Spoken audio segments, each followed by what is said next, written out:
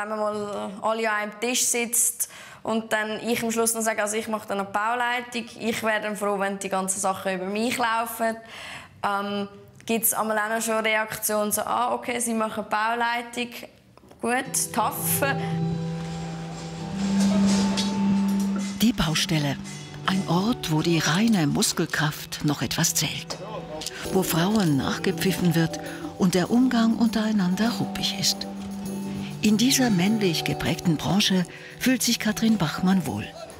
Die 27-jährige St. Gallerin ist Bauleiterin und hat auf mehreren großen Baustellen das Sagen. Wie sie sich in dieser männerdominierten Umgebung behauptet und sich Respekt verschafft, davon handelt dieser Film.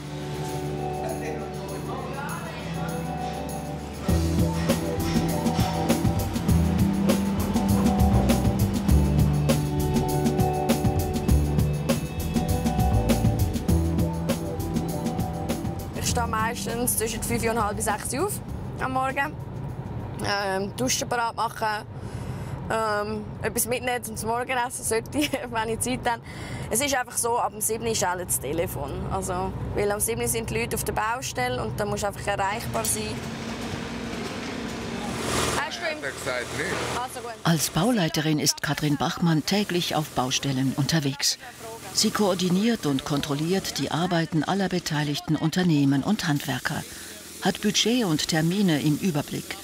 Hier in Zürich an der Klaridenstraße wird ein Bürogebäude umgebaut und neu gestaltet. Ich gehe da ein bisschen höher. Du bist halt manchmal ein bisschen nicht an einem Polizist, aber bist halt immer wieder dran und tust daran erinnern, gell? dort musst du noch und dort fehlt noch etwas, dort musst du noch ein bisschen etwas und dort musst du noch. Rund 40 Leute arbeiten zurzeit auf diesem Platz. Mit Ausnahme einer Architektin alles Männer. Ich treffe ähm, selten Frauen an. Also es ist vielleicht, vielleicht pro Ba- pro Baustelle, je nach Größe, vielleicht ein bis zwei Frauen. Entweder sind es Malerinnen, gewesen, Sanitarinstallateurin hatte ich auch schon. Gehabt. Und dann hatte ich auch auf der letzten Baustelle eine Elektrikerin. In der Planung hat es mehr. Also, dort habe ich Elektroplanerin, Brandschutzplanerin. Dort ist die Verbreitung äh, grösser als jetzt wirklich ein handwerklicher Job auf der Baustelle. Wir würden jetzt das Geschoss runter. Als seltene Spezies auf der Baustelle löst Katrin Bachmann gerade zu Beginn eines Projektes unterschiedliche Reaktionen aus. Wieso? Ja, eine Frau, ich meine, es ist immer ein speziell. Ich glaube, vor allem für Männer, auf eine Frau auf der Baustelle, auf die, für, die einen äh, für die einen ist es etwas Spezielles, für die anderen findet ähm, uff, was will jetzt die da uns sagen? Ähm, aber eben, vielleicht man kommt ja mal selber ein mit. Über die einen haben uh, Freude, ist mal eine Frau da, mal ein die Stimmung ein oder mal etwas anderes. Und von dem her, ja. Das ist wirklich eine Vorrangschiene da, die Rundungen da. Ja. Das hat es mir niemand bis jetzt unterschrieben. Ja, ist gut. Danke vielmals. Bitte, gerne Also, schönen Tag. Danke gleichfalls. Madame, schönen Tag. Tschüss. Ciao. Wird schwierig. Vielleicht die Fliese rausnehmen oder so. Ein Stück. Ich glaube, es bleibt Leute anders übrig als Sila und gerade setzen. Man selber ist netter zu einer Frau, als wenn, wenn ein Mann gegenüberstehen würde. Also man merkt, dass die Leute ein bisschen netter zu einer Frau sind als wie zu einem Mann. Da musst du einen Anzug machen. Ist gut? Nicht wie Sie, warte mal. Jetzt kann ich Sie zu dir. Nein. Also gut. Als Frau, dazu noch jung und mit 1,55 Meter, nicht gerade eine große Erscheinung, fühlt sie sich nicht immer ernst genommen. Es gibt immer mal so eine Situation, wo es auf einmal heisst, ja, sag du mal, ich, ich mache dann schon, wenn ich will und wenn ich Zeit und Lust habe. Oder pff, was, so ein bisschen, wo sie mal schnell wenn noch ein bisschen den Chef raus, also nicht gerade den Chef raushängen, aber einfach so ein bisschen das Alpha-Tierli wollen zeigen und das ist, ich glaube, das ist so ein bisschen typisch Mann. Das habe ich so das Gefühl, das haben sie so ein bisschen in sich. Hallo zusammen. Anders als ein Mann in derselben Position müsse sie als Frau immer wieder beweisen, dass sie kompetent sei. Ich habe das Gefühl, eben das Fachwissen ist schon noch ein bisschen das, was du, was du vielleicht als Mann eher noch schnell kannst schleifen kannst. Als Frau ist es halt einfach gerade der Punkt, äh, ich glaube, die kann das nicht oder die bringt das nicht stand. Ist zwar hart, nicht so wirklich fair, aber das ist halt auf, auf irgendetwas müssen sie uns wahrscheinlich, müssen sie wahrscheinlich prüfen und testen. Hallo zusammen, ich begrüße zu der Bauteamsitzung 43 meine Herren. Meine Herren. Bitte. Danke. Gibt es irgendwelche Anmerkungen zum letzten Protokoll? Du musst präsent sein. Du musst zeigen, dass du da bist. Sie müssen dir zulassen auch während der Sitzung. Also ich kann nicht gerne, wenn sie untereinander anfangen, irgendetwas miteinander zu schwätzen. Das mag ich nicht, dann unterbreche ich. Wenn vielleicht jemand ein bisschen zurückhaltend ist, dann habe ich das Gefühl, dann, dann gibt es Chaos. Du musst, du musst ein bisschen den roten Faden oder auch irgendwie ein Protokoll oder ein die Termine, die musst du im Überblick haben, die musst du wissen und du musst es können präsentieren, du musst es können sagen. Einfach schon noch mal ein bisschen nachfragen. Ja, machen wir. Ja. Genau. Mein Herr. Da rein? Nein. Okay. Dort, schau dort raus. Jetzt, raus. Es ist, der Strom ist drin. Ganz selten komme es vor, dass sie als Bauleiterin nicht akzeptiert werde. Es hat schon so Situationen gegeben, wo ein Unternehmer gesagt hat, von ihnen lasse ich mir nichts sagen. Ich habe dann gesagt, wenn er ein Problem damit hätte, soll er sich doch bei meinem Chef melden. Ähm, mein Chef hat dann gelassen reagiert, hat dann angerufen und gesagt, Frau Bachmann macht da nochmal Bauleitung, ob es ihm passt oder nicht. Und wenn es ihm nicht passt, soll er doch besser gut jemand anderes schicken. Ja, meine Herren. Kleines Puff, kleines Puff, kleines Puff. Gut. Die gelernte Hochbauzeichnerin arbeitet bei der Firma Gisleni. 55 Prozent der Mitarbeitenden des Unternehmens sind Frauen. Wobei die meisten nicht regelmäßig auf die Baustellen gehen. Die Frage, ob es Katrin Bachmann als Frau auf einer Baustelle schwerer habe als ein Mann, löst eine Diskussion mit dem Geschäftsinhaber aus. Also ich habe eine klare Haltung. Nein. Nein, warum? Nein. Weil ich der Meinung bin, dass du eine große Durchsetzungskraft hast und dass du eigentlich auch aus dem Hintergrund, wie du aufgewachsen bist, eigentlich aus, aus der Familiengeschichte heraus auch, denke ich, schon die Sprache kennst und den Umgang kennst und dass du eigentlich auf verschiedenen Ebenen kannst reden. Nein, das dezidiert sage ich nein. Aber es hat schon eine Wirkung bei Männern, dass wenn zuerst eine Frau kommt, dass wir uns wahrscheinlich ein bisschen anders beweisen als wenn jetzt irgendwie ein, ein Bauleiter würde kommen.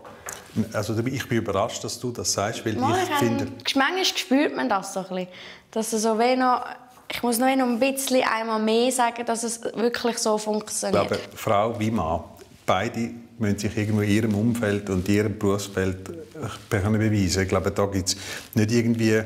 Das, das, das stimmt, das stimmt schon, aber es ist vielleicht dann gleich noch so ein bisschen, ja, weiss sie dann das Fachwissen? Ich meine, wenn sie dann ein bisschen wissen, was mein Hintergrund ist, dann ist es, ah, okay, ja gut, sie kommt also so halb vom Bau, sie hat den Hintergrund auch von der Familie, dann äh, ist es dann schon wieder ein bisschen, bisschen anders. Aber das ist bei mir auch. Also ich sage jetzt aus meiner Erfahrung, wenn ich sage, mein Vater war schon Polier, mein Onkel, alle sind Maurer, die haben schon alle gebaut.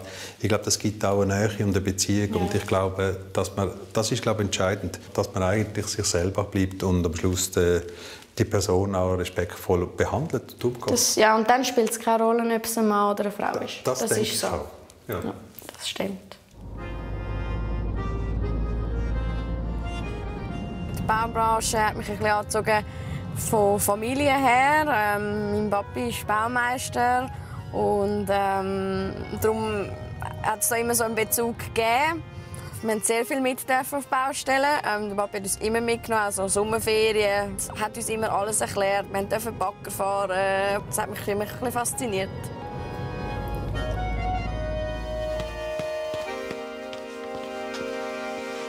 Katrin Bachmann trifft sich zum Abendessen mit der Familie. Hallo. Vater Bruno Bachmann hat ein Baumeistergeschäft. Die beiden jüngeren Brüder sind als Maurer und Bauführer ebenfalls in der Branche tätig.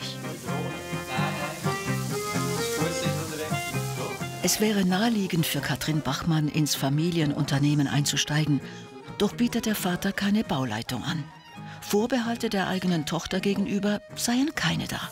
Nein, gar nicht. Also, mein Vater wird mir, ähm, hat mir das Vertrauen immer gegeben und ähm, ich glaube, er weiß, dass ich das glaube ich, auch gut machen, weil ich schon zwei, drei Sachen haben für ihn machen. Und darum glaube ich nicht, dass das ein Bedenken wäre, wenn ich jetzt würde sagen, ich würde gerne mit einsteigen. Oder mit meinen Brüdern zusammen oder so etwas übernehmen. Wenn es eine schaffe, sich auf dem Bau zu behaupten, dann sei es seine Tochter.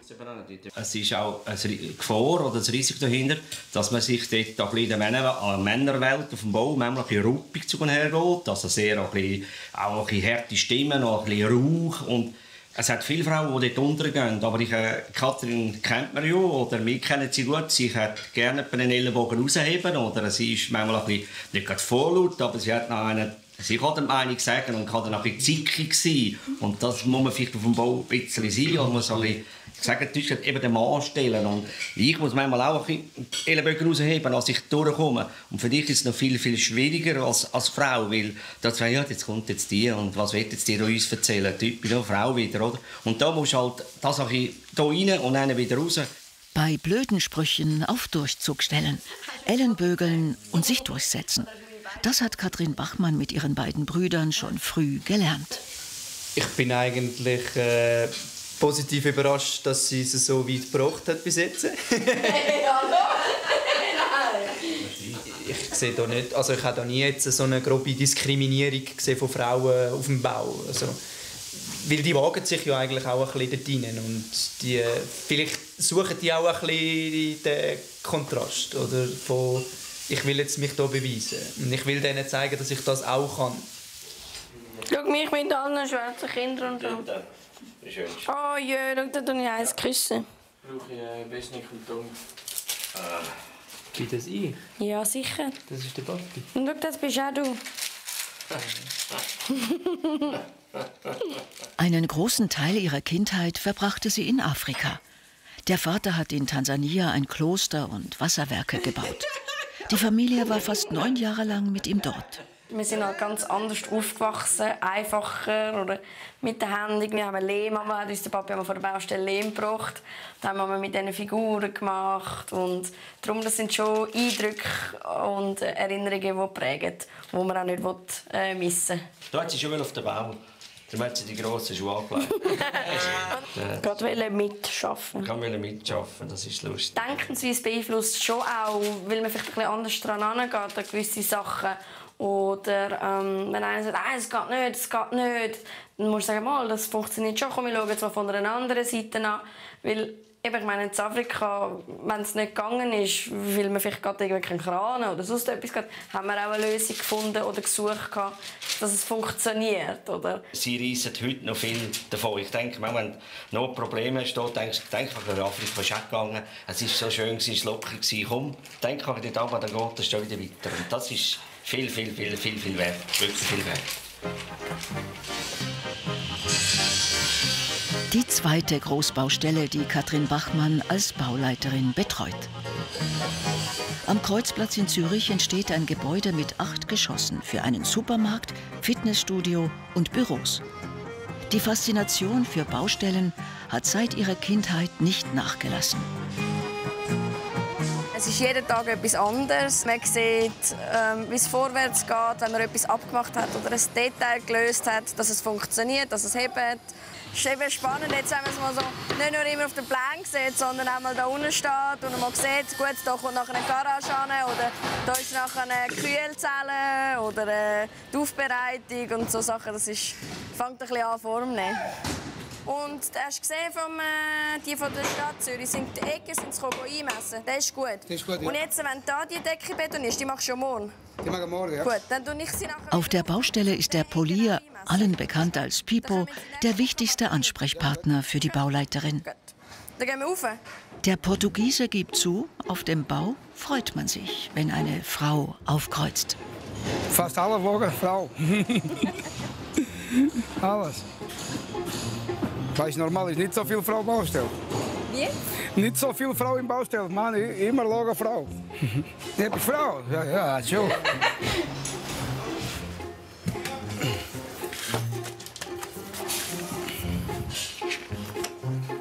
Een Pause Frau.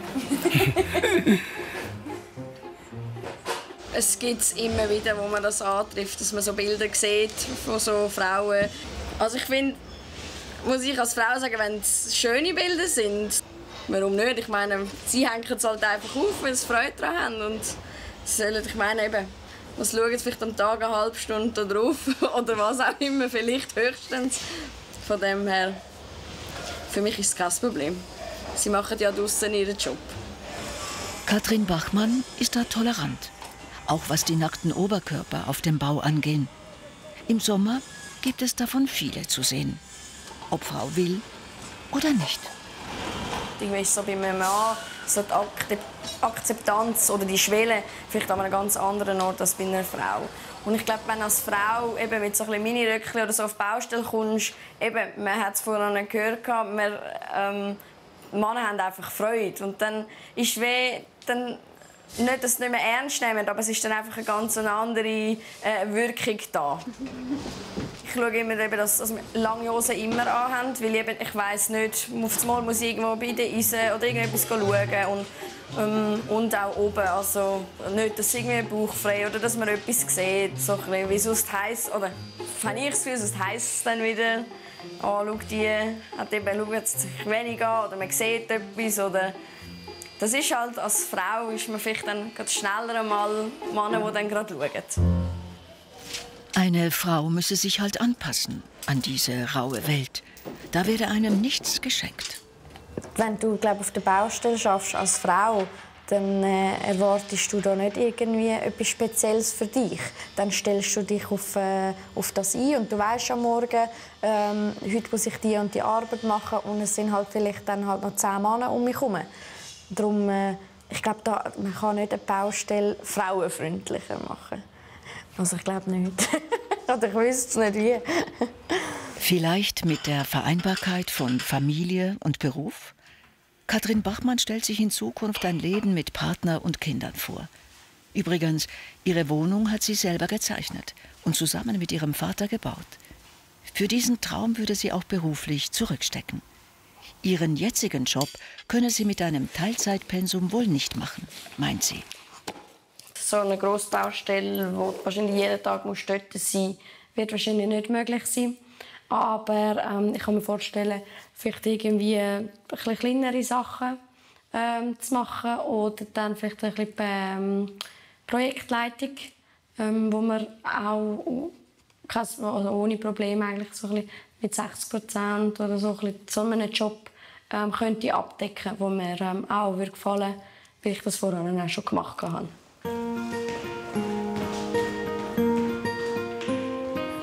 Verteilt euch zwei, schau hier bei Mädchen. Abends auf dem Fußballplatz tanzt ein Dutzend Buben nach Katrin Bachmanns Pfeife. Ich glaube, das hat so ein durch meine Brüder und Kollegen so ergeben, dass ich irgendwie da reingerutscht bin. Mein Bruder shootet auch, mein Kollege shootet. Da kann ich mich einbringen und es ist cool. Innerist, immer mit Innerist, Marco. Marco mit Innerist. Ich habe das Gefühl, ich kann äh, besser mit Männern umgehen als mit Frauen. Also ich habe auch mehr Kollegen als Kolleginnen. Vielleicht, weil sie für mich ein bisschen einfacher sind. ich habe einfach das, äh, das sicher nicht gerne. Einfach in der Linie kommen. Baustelle Claritenstraße. Die Bauleiterin macht eine der letzten Kontrollen, bevor das Objekt der Bauherrschaft übergeben wird. Morgen. Morgen. Ja, aber ich wäre froh, wenn es vielleicht wenigstens nur einen hat und nicht irgendwie drei. Oder jetzt zwei. Nee, zwei ist das Maximum. Das Maximum. Ja, das ist sichtbar, das bleibt, das sehen wir. Mir fallen jetzt so Sachen auf, dann wollte ich schon gerne, dass es dann auch perfekt ist oder dass es wirklich dann aufs Penibelste gemacht wird. Das ist auch der Anspruch, den äh, die Architekten haben, das ist der Anspruch, den die Bauherrschaft hat und man möchte ihnen ja auch ein äh, möglichst perfektes ähm, Objekt übergeben. An diesem Morgen wird die Geduld der Bauleiterin noch einmal auf die Probe gestellt. Was ist denn schräg? Ja, wir gerade zu klären. Alles. Alles. Also das Blech ist auch schräg, oder? Der Spalt ist ja da auch viel grösser als da vorne, oder? Und irgendwie ist deine Tür schräg. Ja. Mal, aber das ist ganz sicher möglich. Ich habe einen Spalt von, was sind das, etwa einen Santi bis auf drei. Ähm, es ist vor allem nervend, dass man irgendwie so kurz vor Schluss noch so Sachen entdeckt. Ähm, aber jetzt müssen wir halt schnell äh, eine Lösung suchen und hoffen, wir finden heraus, warum das was, an was das es liegt. Ich hoffe, es ist nur irgendein Blech, das wir schieben können oder so. Die Tür kann ja nicht schräg sein da hier. Nein, ich glaube, ich muss fast der ruhende Pol dann sein in dem Moment rein, weil sonst, wenn ich auch noch anfange auftrauschend sein oder ähm, machen und tue, dann spielt sich das immer noch weiter auf. Das Glasblech ist schon gerade, die Stelle ist ein bisschen schräg. Ein bisschen? Ja. Ja, Aber jetzt, so kurz vor dem Abgehen, das Gefühl ist, äh, ist mega lässig, cool, wenn man sieht, es wird fertig. Man sieht so ein bisschen, was gemacht worden ist, nicht dass irgendwie die ganzen anstrengenden oder auch die Diskussionen, die man einmal hatte, dass die wirklich zu einem Ziel geführt haben und dass man äh, so etwas miteinander geschaffen hat. Mit ihrer unkomplizierten, pragmatischen Art, einer guten Portion Humor und Gelassenheit setzt sich Katrin Bachmann in dieser Männerwelt durch. Und solange sie Spaß an der Arbeit habe, werde sie der Branche weiter treu bleiben.